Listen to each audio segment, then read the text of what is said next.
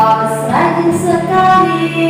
Surat bawa naik sepeda Siapa saja aku layani Tidak kupilih miskin dan kaya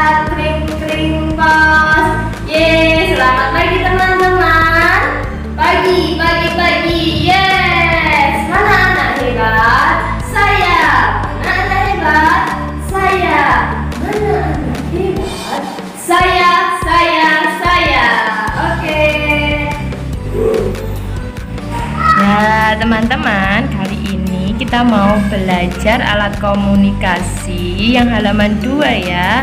Halaman 2. Iya, mau mengenal profesi tukang pos. Teman-teman, semua profesi itu mulia entah itu mau dokter, mau guru, mau perawat, mau tukang bersih-bersih, mau tukang membenerin alat-alat atau semuanya. Itu semuanya pekerjaan yang mulia ya teman-teman ya, yang halal. Hmm. Oke. Nah, kita tulis dulu nama, hari dan tanggalnya. Bismillahirrahmanirrahim. Anak hebat Urutkan gambar langkah-langkah cara mengirim surat. Oh ternyata ini ada mas Mas. Masnya mau mengirim surat kepada neneknya yang ada di jauh sana. Nah yang pertama masnya menulis surat dulu. Setelah sudah menulis surat Nah terus masnya masukkan surat ke bis surat. Namanya bis surat. Nomor dua setelah sudah dimasukkan ke dalam bis surat terus diambil oleh Pak Pos. Suratnya diambil oleh Pak Pos. Nomor tiga.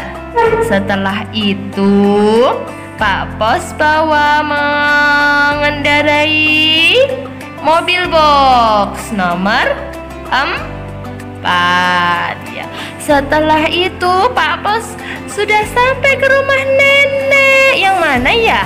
Yang ini apa yang ini? Oh, yang ini iya ada gambar Pak Posnya. Nomor 5. Setelah itu sudah sampai di rumahnya nenek. Neneknya membaca surat. Neneknya senang sekali mendapat surat dari cucunya. Setelah nomor 5 terus nomor 6 Alhamdulillah terima kasih Pak Pos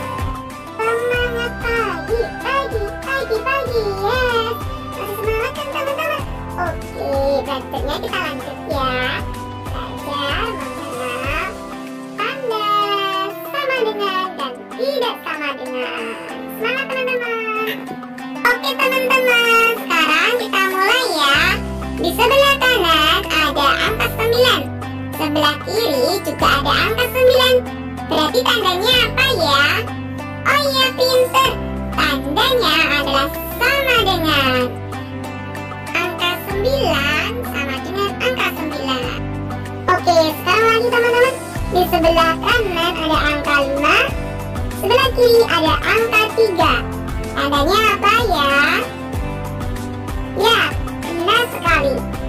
Tidak sama